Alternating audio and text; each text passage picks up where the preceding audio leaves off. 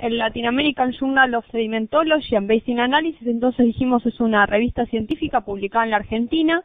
por la Asociación Argentina de Sedimentología y el principal objetivo es difundir contribuciones originales, eh, revisiones y notas técnicas relacionadas con distintos aspectos de la sedimentología. Eh, la sedimentología es una de las ramas de la geología, cuyo objeto principal de estudio son los depósitos y rocas sedimentarias, incluyendo diversas líneas de investigación y aplicaciones en distintas industrias. Eh, esta es la portada del último número de la revista, que como les comentaba al principio, está editada por el doctor eh, Gonzalo Veiga del CICONICET de la Universidad de La Plata, eh, y yo soy la editora asociada del IGEVA CONICET de la Universidad de Buenos Aires. Y la revista también cuenta con un comité editorial formado por 10 miembros, 10 investigadores de distintas especialidades de la sedimentología de distintas universidades del país y del exterior. La responsable de la publicación de SLASBA es la Sociedad Científica, eh, Asociación Argentina de Sedimentología, cuya sede se encuentra en la ciudad de La Plata y actualmente cuenta con 242 socios. Eh, pueden ver acá entonces el, un, detalle del portal de la asociación y en particular de la, de la revista dentro de ese portal.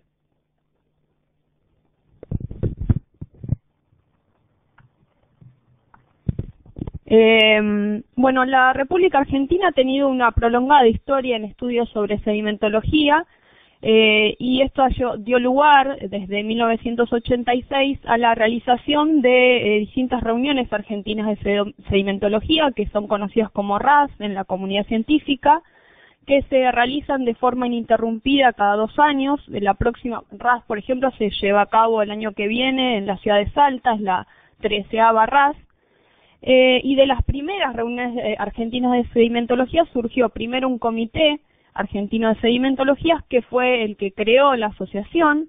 fundada oficialmente en 1993 con el propósito de eh, estimular el desarrollo de la sedimentología en nuestro país.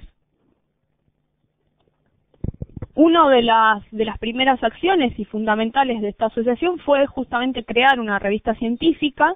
que sea de calidad y valorada por la comunidad científica, que plasmara las investigaciones realizadas en el país sobre los más diversos aspectos de la sedimentología, o sea, el estudio de las rocas, de los depósitos, de las cuencas sedimentarias, sobre dinámica de los procesos de sedimentación y las distintas disciplinas asociadas como estratigrafía, diagénesis, etcétera. Eh, de esta forma, entonces, en el año 1994 nació la asociación la revista de la Asociación eh, Argentina de Sedimentología, o AS Revista, que es la antecesora del actual LAXBA, que es el nombre actual de la revista. Y esta revista se constituyó, y lo sigue siendo actualmente, la única revista de su especialidad dentro de Latinoamérica. La AS Revista, entonces, eh, se se estableció como una publicación semestral de aparición eh, en julio y diciembre de cada año, ha aparecido de forma ininterrumpida desde su creación en 1994. Eh, en el gráfico pueden ver el número de artículos por cada número, eh, solamente en tres oportunidades y por circunstancias particulares los números aparecieron en un solo número al final del año y el número promedio de artículos eh, no ha variado en general a lo largo de la historia de la revista con entre 4 y 5 artículos por número. Un aspecto importante que nos gustaría resaltar es que todos los artículos reciben una rigurosa revisión por pares, por especialistas en, el área, eh, reciben dos revisiones más la lectura crítica del editor o editor asociado. Eh, esto ha sido, digamos, muy importante y se ha mantenido a lo largo de, digamos, de toda la historia de la revista, o sea que se han hecho refuerzos tanto por la permanencia de la revista y la periodicidad, mantener la periodicidad, como mantener la calidad en el arbitraje. Eh, otra cuestión a, resaltar es que eh, sabemos que existen distintos tipos de revistas científicas. Eh, la revista de la Asociación de Sedimentología se planteó desde un inicio como un foro abierto de discusión para el avance del conocimiento científico y nunca fue un objeto de lucro por parte de la asociación. Es por ello que todos eh, pueden publicar ya desde hace varios años que no es necesario ser socio de la asociación para publicar en la revista ni se cobra ninguna eh, clase de, costo para publicar en ella. Em, en cuanto al formato, em, la revista, digamos, en general ha mantenido el tamaño desde su inicio y el diseño general de los artículos. En el 2001, eh, digamos, em, tuvo lugar una modernización, principalmente de la tapa, de la portada, con la inclusión de una fotografía color, pero resaltando que siempre se mantuvo en los datos de portada y contratapa, el número de volumen eh, y, número, la fecha de publicación, el ISSN y los nombres del editor y del responsable editorial. Eh, a su vez, em, digamos, la revista tenía una tirada de 250 ejemplares en promedio por cada número publicado y el objetivo principal de estos han sido la llegada a los socios con eh, un remanente para que fue, digamos, vendido a, a lectores potenciales particulares, eh, sobre todo de difusión durante las reuniones de sedimentología y otros congresos de la especialidad. Otra característica que ha tenido la esa revista es que siempre priorizó una política de amplia difusión en la comunidad internacional y para ello los artículos siempre incluyeron un extended abstract en idioma inglés cuyo objeto, digamos, es presentar eh, de forma resumida todo lo que aparece en el artículo, desde una versión del título en inglés, el objetivo del trabajo, la metodología, el desarrollo, los resultados y las conclusiones. Eh, y esto acompañado por epígrafes eh, en idioma inglés también, eh, teniendo en cuenta que digamos las publicaciones sobre geología tienen una gran profusión de, láminas, figuras, mapas, esquemas, con lo cual es muy importante el acceso a entender de qué, qué se estaba mostrando en esas figuras. Eh, digamos, todos sabemos también que el, digamos el ambiente de las editoriales científicas ha sufrido diversos cambios en los últimos años y esto, digamos, llevó a discusiones internas dentro de la comunidad de, sedimentológica del país y de la asociación, eh, en particular, especialmente para tratar de obtener una mayor visibilidad de los trabajos que allí se publican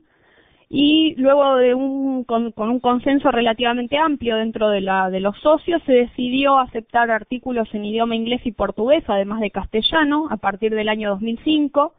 y esto estuvo acompañado por un nombre en el cambio de la, un cambio en el nombre de la publicación por el actual Latin American Journal of Sedimentology and Basin Analysis, como dijimos para posibilitar una mayor visibilidad de la revista a nivel mundial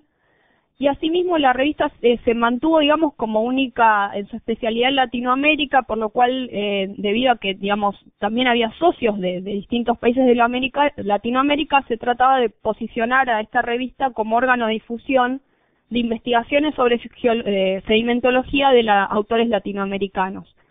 Eh, podemos decir, digamos, las, eh, los comités editoriales realizaron diversas gestiones, eh, varios, y entre ellos invitando a autores eh, a, enviar trabajos, aún los trabajos que eran por invitación, cabe destacar que recibieron el arbitraje de pares igual que, que todo manuscrito enviado a la revista, y podemos decir que estas gestiones dieron frutos porque se incrementó en los últimos cinco años el, el envío de, digamos, fueron publicados 11 artículos de autores extranjeros, particularmente de autores brasileros. Y esta integración latinoamericana también se vislumbra en la realización de del Latin American Sedimentological Congress, que se organiza desde 1997 para toda la comunidad científica y organizada principalmente por investigadores de Venezuela, Brasil, Argentina. Por ejemplo, en nuestro país se hizo en el año 2000 en la ciudad Mar del Plata y en el 2006 en Bariloche. Eh, avalado, digamos, por la permanencia, periodicidad y calidad de los trabajos, la, esa revista tuvo la, suerte, digamos, de ser eh, incluida en el núcleo básico de revistas científicas argentinas del CAICID CONICET en el año 2005 y durante la última revaluación, durante el 2010, eh, fue, digamos, se obtuvo la máxima calificación y la permanencia hasta 2013. Y en relación a otros directorios y motores de búsqueda online, eh, podemos mencionar que el Laxo está citado en Latindex, en el Directory of Open Access Journal y en GeoRes. GeoRes es la mayor base de datos mundial de artículos publicados en revistas de ciencias de la Tierra. Y últimamente la, la Asociación de Sedimentología, como editorial responsable, ha hecho gestiones para que el LASBA sea incluido en la base de datos Scopus, que es el mayor directorio de literatura científica. Eh, otro hito importante en la historia de la revista y en relación directa a las jornadas que, hoy nos, convocan es la inclusión del contenido completo de la revista en el portal Cielo Argentina a partir del volumen 14, esto fue en el año 2007.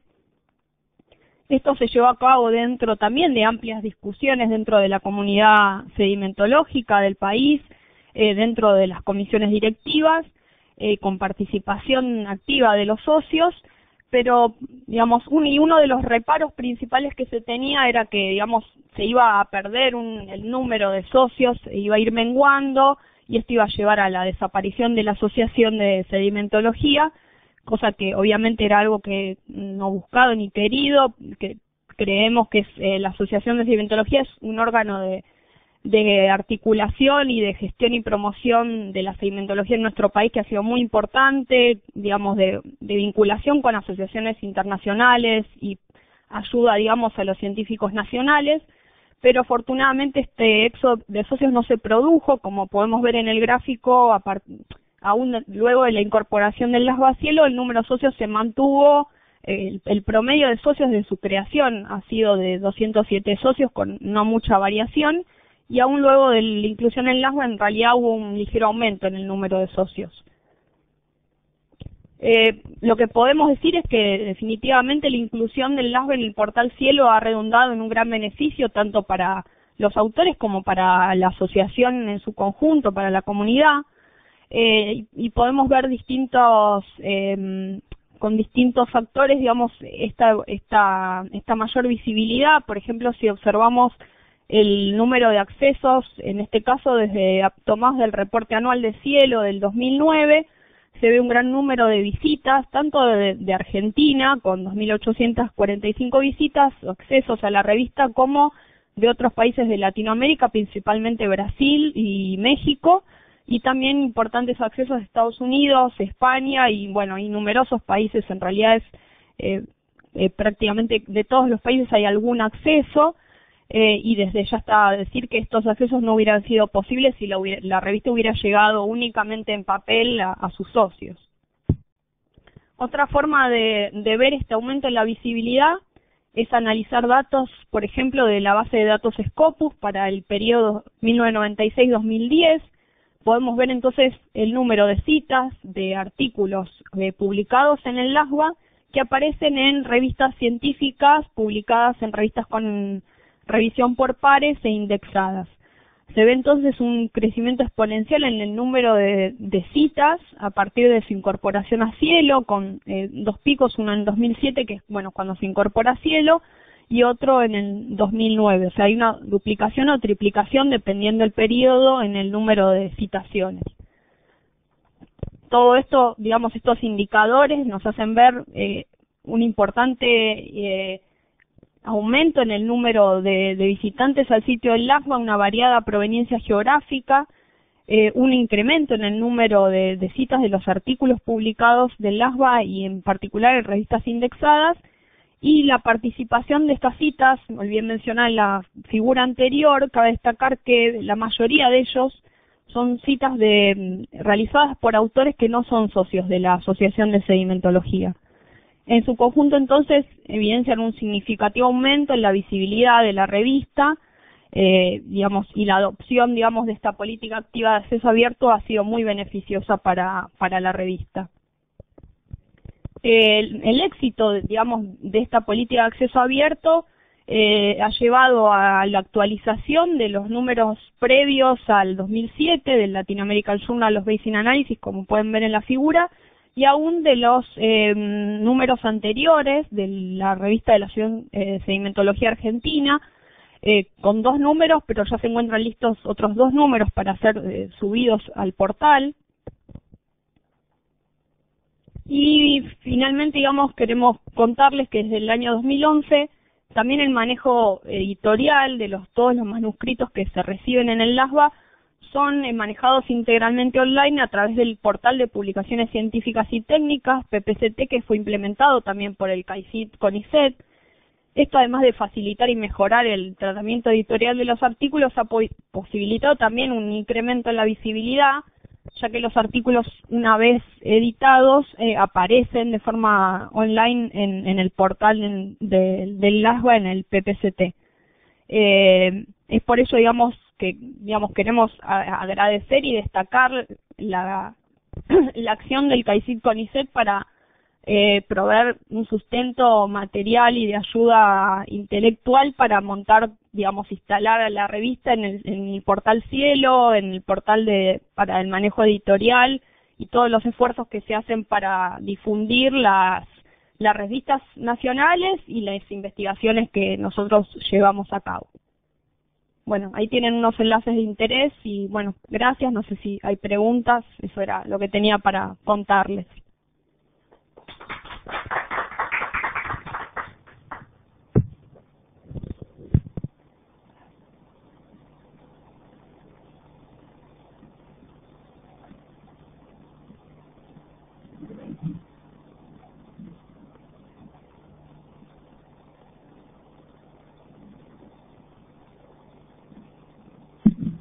Eh.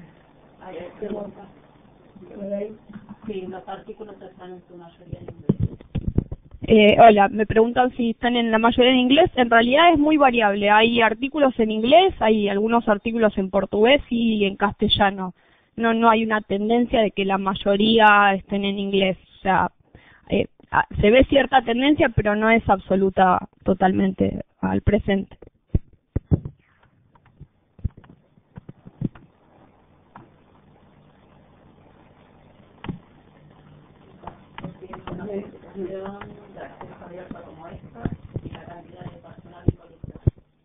Eh, a ver, personal involucrado en realidad es eh, el, el editor y la editora asociada,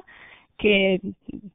cabe destacar que es trabajo de honor, en los dos somos investigadores eh, y docentes en la universidad, con el apoyo obviamente de la Asociación de Sedimentología, pero la verdad es que trabajamos los dos con el comité científico, que también es obviamente fuente de consulta permanente para eh, buscar revisores especializados en la temática, para hacer revisiones, etcétera.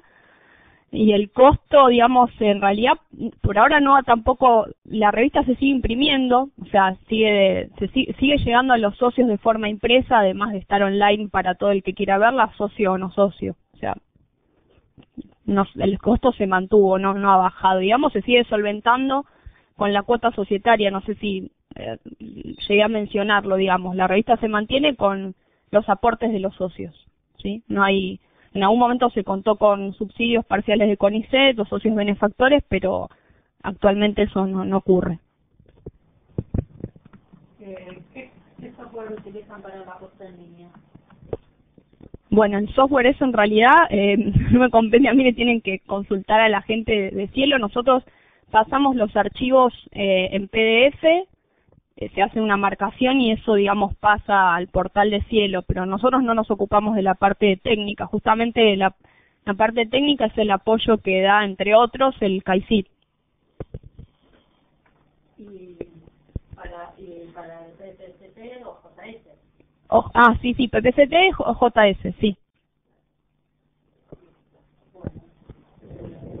estoy pasando, pidieron los links, yo se los estoy pasando.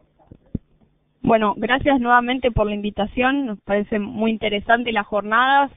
y que digamos que sirva de algo contar la experiencia nuestra y bueno, nada, estamos a disposición, están ahí los links, así que pueden entrar a la revista o al portal en cielo o escribirnos a Gonzalo y a mí que no hay ningún problema, estamos disponibles para contarles lo que tengan ganas.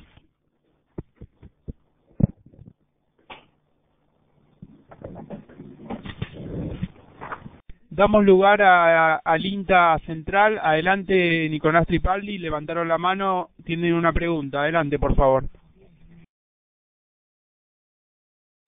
Sí, Flavio, buenas tardes. ¿Me escuchás? ¿Me escuchan bien? Bueno, veo que sí. Eh, bueno, acá estamos junto a Adriana Bonomo. Quiero hacer una pregunta a la expositora, así que le paso a ella el micrófono. Gracias, Nicolás. Eh, mi pregunta en parte quedó respondida con tu comentario reciente sobre que envías los PDF, porque yo te iba a preguntar, un poco en base a lo que se habló de la publicación de la Universidad Nacional del Sur, que comentaron cuántas este, cuántos días creyó alrededor de tres semanas para aplicar la metodología Cielo eh, para preparar la publicación eh, porque bueno, acá con el resto de la audiencia hablábamos y habíamos interpretado que solamente eh, se podía mm, eh, presentar los, los trabajos, los artículos en HTML y eso nos daba que pensar que bueno, que era bastante trabajoso, pero ahora con lo que vos decís que envías los PDF y ellos se ocupan, bueno, no sé si en todo caso podés eh, aclarar alguna otra cosita más dentro de tus conocimientos o si no queda como un comentario. Gracias. Pasamos la palabra.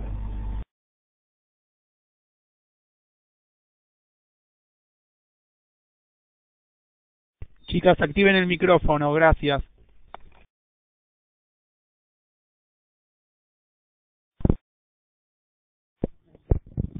A ver ahora. Eh, eh, perdón, nosotros recibimos archivos.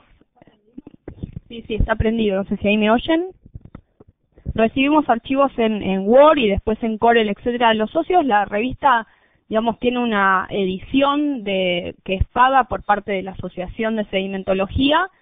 Se, digamos, el producto final es un PDF que tanto va para a la imprenta para ser impreso o enviado al CAICIT para el procesamiento que es externo, digamos, y tiene un costo que cubre también la asociación. O sea, nosotros lo que enviamos es el PDF.